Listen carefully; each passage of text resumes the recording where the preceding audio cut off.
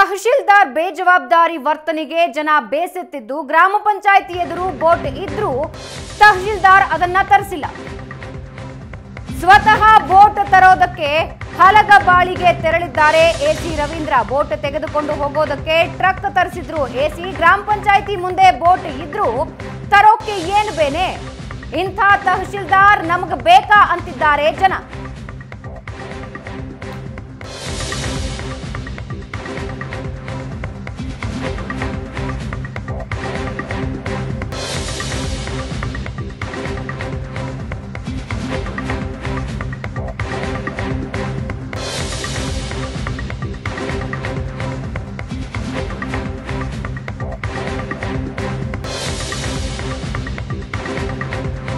ಗ್ರಾಮ ಪಂಚಾಯಿತಿ ಮುಂದೆ ಬೋಟ್ ಇದೆ.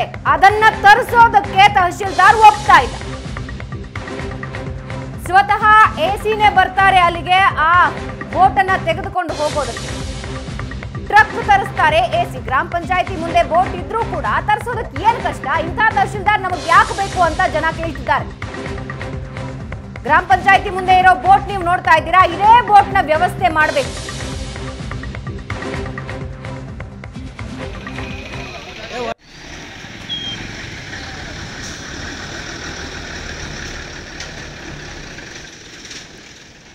ಬೇಜವಾಬ್ದಾರಿ ತಹಶೀಲ್ದಾರ್ ವರ್ತನೆಗೆ ಗ್ರಾಮಸ್ಥರು ಬೇಸರ ವ್ಯಕ್ತಪಡಿಸಿದ್ದಾರೆ. ತಹಶೀಲ್ದಾರ್ ದುಂಡಪ್ಪನ ವರ್ಗಾವಣೆ ಮಾಡಿಸಿ ಅಂತ ಗ್ರಾಮಸ್ಥರು ಪಟ್ಟು ಹಿಡಿದಿದ್ದಾರೆ. ತಹಶೀಲ್ದಾರ್ ವಿರುದ್ಧ ಹುಲಗಬಾಳಿ ಗ್ರಾಮಸ್ಥರು ಪ್ರತಿಭಟನೆ ನಡೆಸುತ್ತಿದ್ದಾರೆ.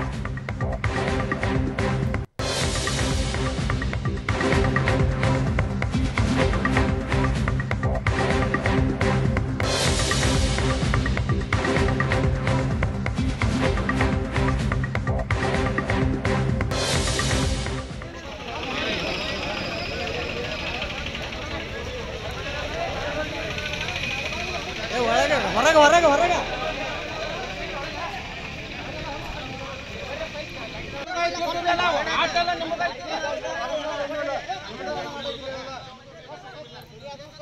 ಎಸ್ ಈ ಬಗ್ಗೆ ಏನಷ್ಟು ಮಾಹಿತಿ ನೀಡ್ತಾರೆ ನಮ್ಮ ಪ್ರತಿನಿಧಿ ಷಡಕ್ಷರಿ ಷಡಕ್ಷರಿ, ಈಗ ಸದ್ಯದ ಅಪ್ಡೇಟ್ ಏನ್ ಸಿಗ್ತಾ ಇದೆ? ತಹಶೀಲ್ದಾರ್ ಬೇಡವೇ ಬೇಡ ನಮಗೆ ಅಂತ ಅಲ್ಲಿನ ಸ್ಥಳೀಯರು ಪ್ರತಿಭಟನೆ ನಡೆಸ್ತಾ ಇದ್ದಾರೆ.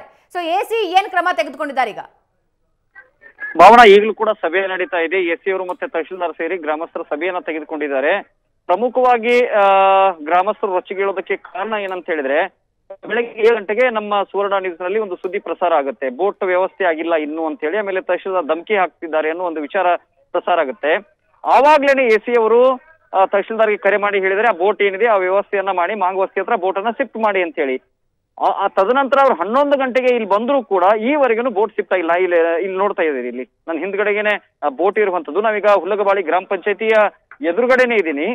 ಆ, ಇಷ್ಟು ಹೇಳಿದ್ರು ಕೂಡ ತಹಶೀಲ್ದಾರ್ ಅದನ್ನ ಶಿಫ್ಟ್ ಮಾಡಿರ್ಲಿಲ್ಲ. ಹೀಗಾಗಿ ಮಾಂಗವಸ್ತಿ ಬಂದ, ಬಳಿ ಬಂದು ಅಲ್ಲಿಯ ಸ್ಥಳವನ್ನ ನೋಡಿ ಗಾಬರಿಯಾದಂತ ಎ ಸಿ ಅವರು ಸ್ವತಃ ಇಲ್ಲ, ನಿಮ್ ಕಡೆ ಇದು ಆಗೋ ಕೆಲಸ ಅಲ್ಲ. ನಾನೇ ಸ್ವತಃ ಹೋಗ್ತೀನಿ ಬೋಟ್ ಅನ್ನ ತರ್ಲಿಕ್ಕೆ ಅಂತೇಳಿ ಅವರೇ ಸ್ವತಃ ಈಗ ಗ್ರಾಮ ಪಂಚಾಯತಿಗೆ ಬಂದಿದ್ದಾರೆ. ಇಲ್ಲಿ ನೋಡ್ಬೋದು. ಜನ ಕೂಡ ಇಲ್ಲಿ ಸುತ್ತುವರೆದಿದ್ದಾರೆ. ಗ್ರಾಮ ಪಂಚಾಯತಿ ಸುತ್ತುವರೆದಿದ್ದಾರೆ. ಎ ಸಿ ಅವರಿಗೆ ತರ- ತರಹೇವಾರಿ ಪ್ರಶ್ನೆಗಳನ್ನ ಕೇಳ್ತಾ ಇದ್ದಾರೆ ಯಾಕಂತ ಕೇಳಿದ್ರೆ ಭಾವನಾ ಇಲ್ಲಿ ಒಂದು ಕೇವಲ ಈ ಬೋಟು, ನೀರಿನ ಸಮಸ್ಯೆ ಅಷ್ಟೇ ಅಲ್ಲ, ಕಳೆದ ವರ್ಷದಿಂದ ಕೂಡ, ಅಂದ್ರೆ ಕಳೆದ ಪ್ರವಾಹದಿಂದ ಕೂಡ ಇಲ್ಲಿವರೆಗೂ ಕೂಡ ಪರಿಹಾರ ಇಲ್ಲಿಯ ಜನರಿಗೆ ಸಿಕ್ಕಿಲ್ಲ. ಹೀಗಾಗಿ ತಹಶೀಲ್ದಾರ್ಗೂ ಒಂದ್ ಕಡೆ ಪ್ರಶ್ನೆ, ಜನ ಪ್ರಶ್ನೆ ಮಾಡ್ತಾ ಇದ್ದಾರೆ ಮತ್ತೊಂದು ಕಡೆಗೆ, ಆ ಎಸಿ ಅವರಿಗೂ ತಮ್ಮ ಅಳಲನ್ನ ಎ ಸಿ ಅವರ ಮುಂದೆ ಕೂಡ ಅವರು ತೋಡ್ಕೊಳ್ತಾ ಇರುವಂತದ್ದು. ನಮಗೆ ಈ ರೀತಿಯಾದಂತಹ ವ್ಯವಸ್ಥೆಗಳು ಬೇಕಾಗಿದ್ದಾವೆ. ವ್ಯವಸ್ಥೆಗಳೇ ಆಗ್ತಾ ಇಲ್ಲ. ಅನ್ನುವ ಅನ್- ಅನ್- ಅನ್ನುವಂತ ಒಂದು ವಿಚಾರಗಳನ್ನ ಜನರು ಎ ಸಿ ಅವರ ಬಳಿ ಹೇಳ್ತಾ ಇರುವಂತದ್ದು ಭಾವನಾ.